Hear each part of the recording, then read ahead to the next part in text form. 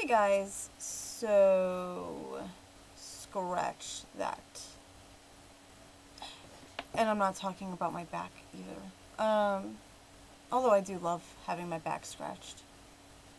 But at any rate, um, if you are keeping up on my vlogs, the last vlogs I've been posting about where um, that I've been dating people, um, and then I went on a date with Adam, and we've continued to been like to see each other, and how great things were. I haven't seen him in two weeks. He, he's a nice guy, just wasn't feeling it. Like, yeah, he was attractive, very attractive, but it, definitely there's more to a, a person than their looks. Um, it was always like the same routine with him as always, like him coming over watching movies. Like, don't get me wrong, I love to relax and all that stuff, but doing the same thing all the time just kind of gets old. And just his personality, he questions everything. I overanalyze. I question everything. But let me give you an example. We're walking along. We both stumble upon this. This. The, this is Adam. So, what is that? I I don't know. I'm coming across it for the very first time myself. I want to say it's a brush, but I don't know. Let's pretend it's an object that is a little more mysterious than this. It's just an example. I don't know, Adam. Uh, I I have no idea. So, why do you think it's there? Um, I wish I could answer that for you. I don't know.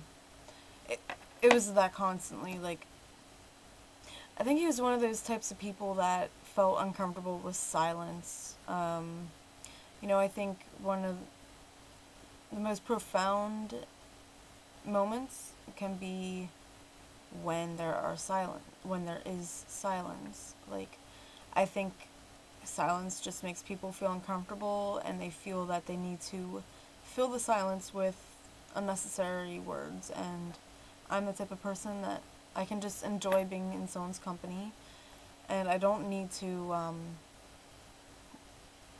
talk the entire time. Like there are times when I'm just enjoying the moment and for what it is and my best thoughts come when I'm in my head and those thoughts can't happen when I'm with Adam because every time there's a silent moment he's questioning something and I am not I'm not a genius. I I don't know why everything is the way it is. So that got under my skin. And if I'm dating you and it has been the third date and I'm already annoyed with your habits and that I can't accept them from the start, that's not a good sign. Uh, I'm the type of person, again, that when I'm with somebody, somebody, and I, I care about them, I take the good with the bad because basically, let's face it, we're human. We make mistakes. We have flaws. You have to take the good with the bad. But if I'm already annoyed with a major part of your personality from the start, I, it's not gonna work. Um, another thing about Adam was he was super clingy um, he would he would just come to the store, just see me, like where I work. Um, like we went on a date, and then like two days later, he's like, "Oh my god, I miss you, I miss you, like I want to see you." So he came to my job, and we hung out for a little bit outside of work, Like, for, gra- like granted, it wasn't long, like super long. It was like a half an hour, forty five minutes. Like we hung out, and then and then, like two days later, he's like, I really want to see you, like, and it's like I had things going on, and it's like I can't. I'm sorry, and he. Plus, I was a bit turned off with everything, just the way he is, and he was he had said, um, I don't think that asking to see you when it has only been a week is asking too much. He said that in a text message to me. I was like, hey dude, you literally just saw me, not yesterday, but the day before. So, I don't know how good you are at math, but there are seven days in a week. It has not been a week.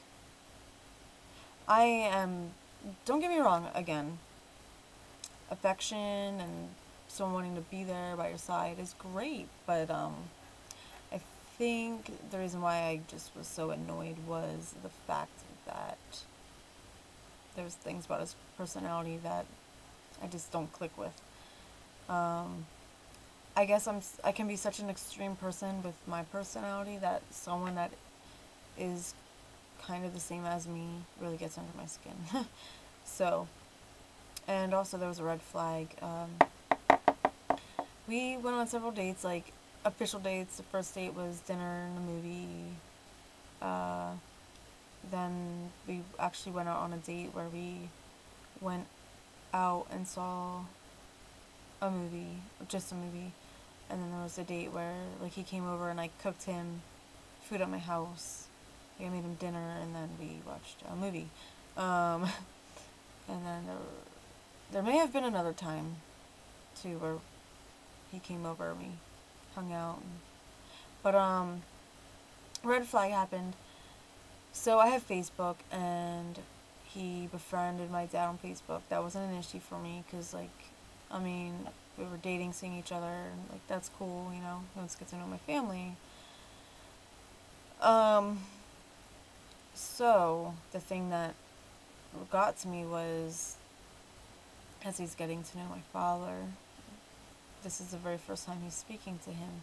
He comments on a photo or a post of my father's, and he refers to him as dad. Okay, it has been like three dates, and you are calling my dad dad. That freaks me out. Especially when I'm not on the same level as you, and I don't feel quite as strongly as you do. That is kind of scary. It is scary to know that probably by the seventh date, you will ask me to marry you. I want those things so badly. I do. But not with a person that I, I, I don't know. I really can't put words to it. It just freaked me out. Um, so I pretty much stopped, like, talking to him, like, texting him like I was. Uh, laid off of that, and he texted me, and, like, he asked me to hang out. Like, I did have plans, but he asked me, well, what he said was, so later on I'm having a barbecue, and we're going to be swimming like just kind of like a hey this is what i'm going to be doing. And i was like oh that's cool.